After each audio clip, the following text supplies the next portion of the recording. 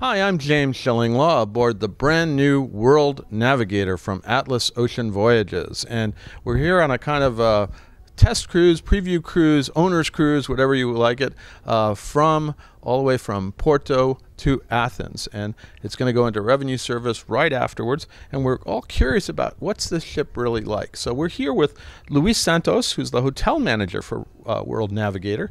And we're going to talk to him about the accommodations, how everything operates on the hotel side, and all of the things that you really want to know about for your clients' comfort when they're aboard World Navigator. And you're going to find out about all that and more on Insider Travel Report.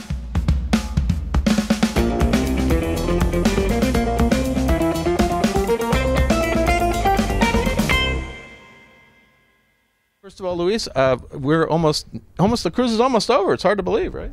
That's right. Yes, tomorrow we reach uh, Athens, Greece, and is the end of our cruise. So there's a ten days cruise all the way from Porto in Portugal to Athens through the Med, and uh, yes, we finish a successful cruise tomorrow. Yeah, and this was the first one. You're testing some things out, but I got to tell you, the service on board has been outstanding. Um, it really for a first cruise like this, and uh, you know, it's obviously you have the owner on board, so that's important. But uh, but you guys have done a good, great job. Now, first, tell us a little bit about the accommodations on board. Uh, what are kind of the range of staterooms and suites, the different categories you have? Okay, we have we have all in all 100 staterooms, uh, 10 of which are uh, high category uh, suites.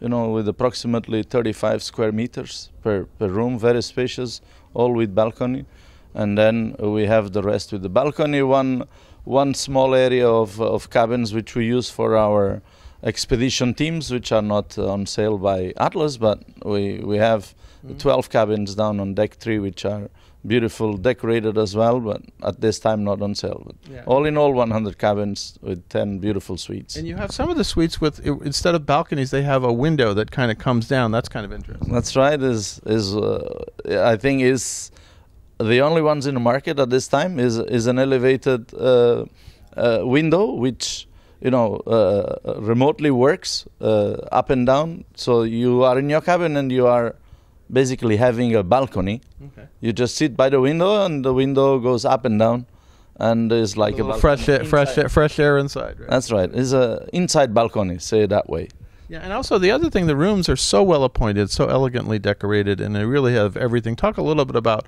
what's in those rooms for comfort. Okay, we have the rooms are all decorated by a, a very specialized uh, team uh, of the uh, architecture team, and uh, we have beautiful uh, sofas, uh, furniture, all made in Portugal, which is very well known for its uh, is furniture, uh, building furniture north of the country, right. and uh, we have uh, beautiful uh, uh, TVs, flat screens with smart TV, with all kinds of features in. We have hair dryers, we have a mini bar, we have uh, pillow menu, which you can choose up to five pillows from it. From you, you get you get four originally, then you can swap them all out, right? That's right. Yeah, from uh, you know memory foam to to feathers, so you can choose off. You know the rooms are uh, very well equipped. Is really top of the range, and the our linen is also top category linen, mm. really high quality. The mattresses you'll see, the beds are uh, very well, uh, very comfortable. I mean, it's it's really a cruise line that gives you the maximum comfort in your staterooms. No, absolutely, and I felt that as well. Uh, I've slept very well on board. I've felt that the quality of the sheets, the pillows, and everything else. And just hanging out in the stateroom, although there's some other places like here, we're in the Atlas Lounge, is a lovely place to, to hang out as well. Now, how many total crew do you have on board, and, and kind of what are the nationalities of all the service staff and everything? We have 117 crew members mm-hmm. From multi nationalities. We are represented by uh, Asia, by uh, America, by uh, Europe. We have crew members from all over. The, at this moment, 18 different nationalities. Oh, wow. Okay, the officers mostly are Europeans. Mm-hmm but uh, the crew comes from all over the world and uh, yeah, I know a lot of people from Philip- Philippines and Indonesia I noticed Philippines and Indonesia Europe we have we have all kinds. We are multicultural and we we really have excellent crew members. We we train them with our management on board to deliver the best services. And I think we did a fantastic job. This inaugural cruise with the crew that we we've been training since since June that we start uh, uh, setting up these cruises. So. Yeah, well, since June last year, you had during the pandemic, and I was going to say it's amazing how the service levels are already really top notch uh, in the first cruise, essentially, right? Yes, that that is the the reflect of of excellent teamwork and. Uh, uh excellent uh, training management that we have on board mm-hmm. is a continuation of, of the management training to the crew you know, giving them all the tools for them to deliver outstanding services for our guests. No, it, has been amazing. The service in the in the staterooms, service in uh, uh, in the restaurants has been excellent. Service all over the ship, and I'm very impressed f- for such a new crew. Uh, let's talk a little bit about you know, obviously the issue of the moment is COVID and how you protect uh, uh, you know your your guests and, and adhere to certain COVID protocols. What what sort of cleaning regimes and other things you have you had to do uh, to sort of make everybody safe? Yeah, we have we have a very detailed uh, COVID protocol response plan, and we continuously training our crew on that plan. We we uh, sanitize the staterooms uh, prior to any guest coming in there. We have we have a gap in which you know the crew is not allowed to go in when a guest goes out. And then once that uh, that time gap is is achieved we we go in we disinfect we clean the rooms and we tag all the rooms that have been disinfected. So when guest comes there uh, we'll feel that the the comfort the the the covid protocols have been all followed and they, I can assure you that the each each part of the ship, each lounge, each stateroom is fully disinfected prior to anyone coming in. We have a number of hours uh, between uh, guests going out, guests coming in. We allow that number of hours for, for us to have a full disinfection of the entire ship prior to any guest coming in. So we we follow that protocols. We have a crew very well trained to follow them and of course the management is checking on all that details to make sure that we have a safe and healthy ship. Well, you have a okay uh, on this deck, deck four. There's actually a very large medical center. You have a doctor, you have a nurse, and uh, they administer a lot of the tests, uh, COVID tests. And I assume that the whole t- the crew has gotten tested. And I think most of, most of them are vaccinated as well by now. Or? That's right. All our crew is vaccinated in total, 100%, and we do uh, the COVID test once a week as well. Mm. Every crew member is uh, submitted to, to, to the test once a week. Uh, during the entire uh, cruise, we the cruises are two weeks. We go through two tests, mm. and also at this time we we we have uh, limitations of going ashore to avoid any any possible contaminations. We are really prepared for it and and have uh, all the protocols in place. Now, the other thing is, uh, we talked about uh, you have plenty of hand sanitizers all over the ship. They're kind of built in at this point, right? That's right. We have a, a top of the line hand sanitizers all over the vessel. Yeah. You can see at every corner there is one. Uh, in order for the people to be comfortable to sanitize their hands as often as possible, and, and that includes in the crew areas. And then, of course, the other thing is we're not wearing masks now because we we went with the interviews without masks, but the entire crew wears masks. Now, guests sometimes, uh, maybe not so much. I've been trying to wear my mask, but it's hard because you're in this wonderful environment and you feel very safe. So a lot of times you just got to walk out with your, your mask. But I've noticed the crew always wears masks.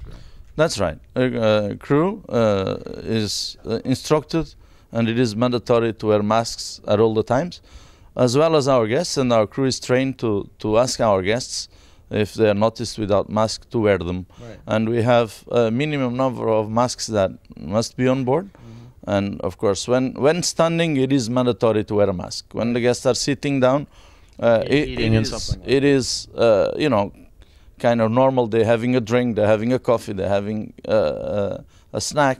Uh, but when standing, we ask everyone to wear a mask. And then, of course, there are plenty of masks on board. You have a lot of masks you can give to them. Right? That's plenty of masks. Yes, we have in our COVID protocol a minimum number of masks to carry on board, and we always doubling that amount. So now I've noticed that uh, this this particular cruise there is a buffet and it, it, it's sort of open there. But what's going to be the future? Is there going to be a buffet, uh, open buffet, or is it going to be a served buffet? How's that going to work? This cruise, inaugural cruise, is a particular cruise. Yeah, it's, it's okay. the owners. It's all his friends and his investors, right? That's right. Everyone is vaccinated. Everyone uh, came on board with a PCR negative and the owner has asked to, to be a little bit flexible in that respect going forward uh, future cruises with guests. There, there will be no buffets in in a in a structure. There will be no buffets in a restaurant.